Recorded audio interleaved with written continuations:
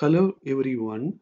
Today we are going to find the collapse load in a propped cantilever beam when it is subjected to an eccentric point load.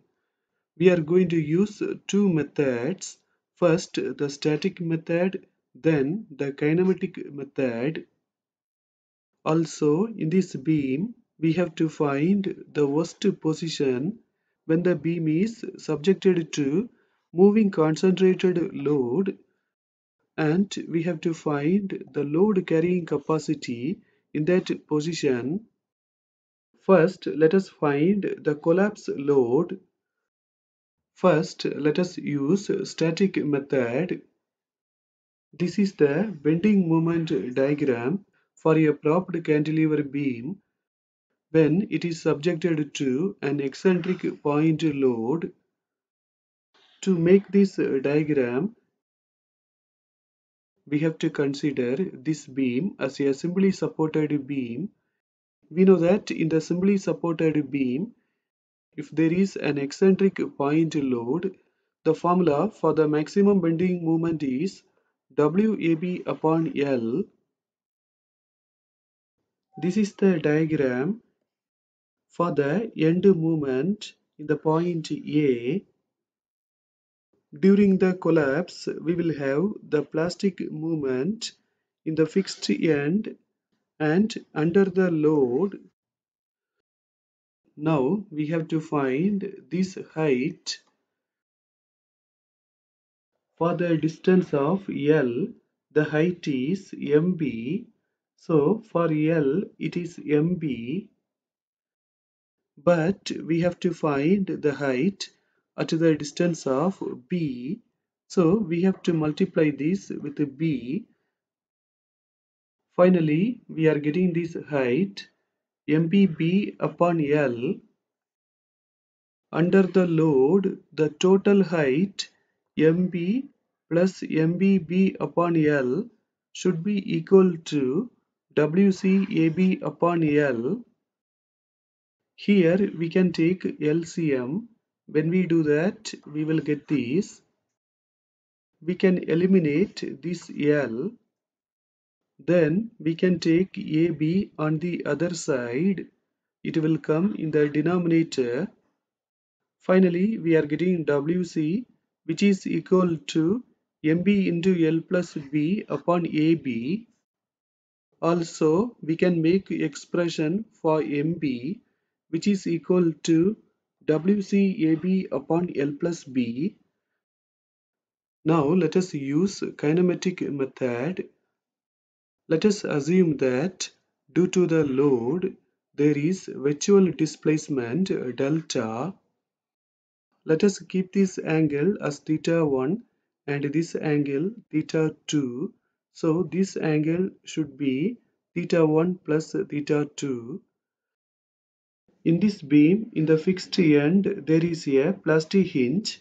Also, under the load, there is a plastic hinge. In the simply supported end, there will be no plastic hinge. So, totally, there are two plastic hinges.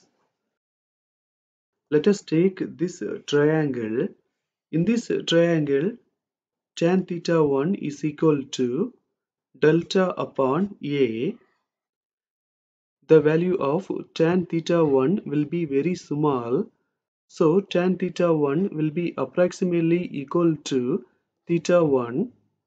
So we can take theta 1 is equal to delta upon A. Delta is equal to A theta 1. Now let us take this triangle. In this triangle, tan theta 2 is equal to delta upon b, we know that tan theta 2 will be approximately equal to theta 2. So we can take theta 2 is equal to delta upon b. For delta, we can apply a theta 1. Now let us find the internal work done. We know that in the fixed end, we have a plastic hinge we have to multiply MB with this angle. So MB into theta 1. Also we have a plastic hinge under the load, here also we have to multiply MB with this angle. So MB into theta 1 plus theta 2. We have to add these two. For theta 2, we can apply A theta 1 upon B. We can take theta 1 outside. Then we can take MB theta 1 outside.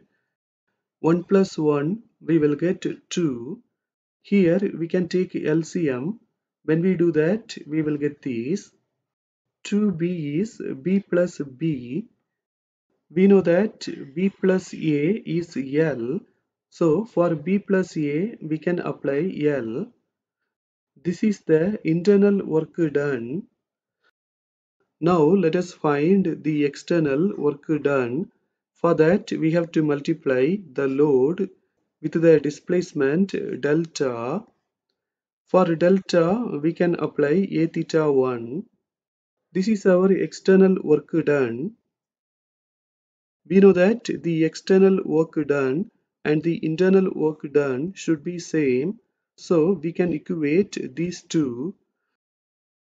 We can eliminate theta 1 and we can take A on the other side. It will come in the denominator Finally, for WC, we are getting MB into L plus B upon AB. Also, we can make an expression for MB which is equal to WCAB upon L plus B. In the question, we have been asked to find the worst position when the beam is subjected to a moving concentrated load this position occurs when there is minimum collapse load. To find the position of minimum collapse load, we have to differentiate WC with respect to A and then we have to equate to 0. Before differentiating, let us make B in terms of A. We know that B is L minus A so for B, we can apply L minus A. L plus L, we will get 2L. Then we can multiply these two terms. We will get these. Now let us differentiate these with respect to A. MB is constant. We can take outside and take on the right side. 0 upon MB, we will get 0. Here in the numerator and denominator we have a. So we have to use the formula for d upon dx into u upon v. Here x is a, u is 2l minus a and v is al minus a square. So in the denominator we will have al minus a square the whole square here we will have AL minus A square. Then we have to differentiate this with respect to A. 2L will become 0. For minus A, we will get minus 1. U is 2L minus A.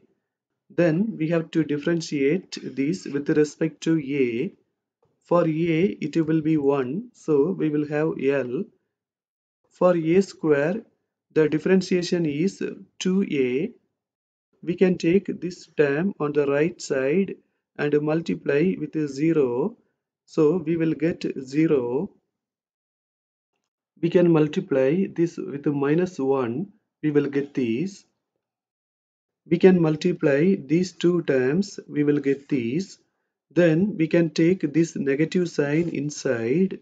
So we will get these we can eliminate minus AL and positive AL. A square minus 2A square, we will get minus A square. Then we can change all of the signs. This will become positive, this will become positive and this will become negative. Now let us add 2L square on both of the sides. 2l square plus 2l square we will get 4l square then we can write this whole term into a minus 2l the whole square To find a minus 2l, we can take root of this. It will be plus or minus root of 2l square. Here we have two solutions. Positive root of 2l square is not possible. Only minus root of 2l square is possible.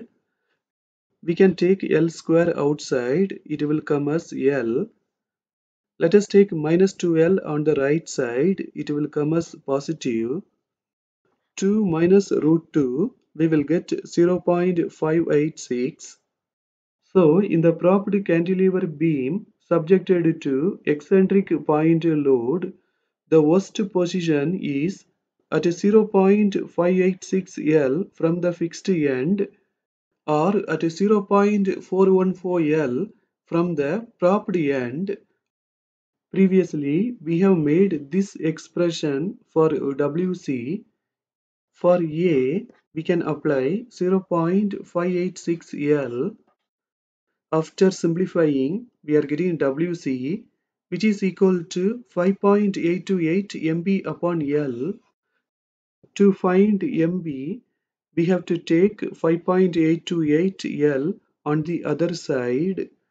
Finally, for MB, we are getting 0.1716 WCL. Now, we are going to end this session. Thank you for watching this video.